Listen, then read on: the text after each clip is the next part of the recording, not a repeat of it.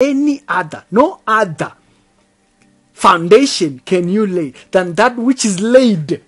The foundation has been laid. If you are laying another foundation, another altar, you will answer for that altar. The Bible says, another Jesus you can't save. And that altar you are raising, it cannot save. Continue. It's Ricky. Peter.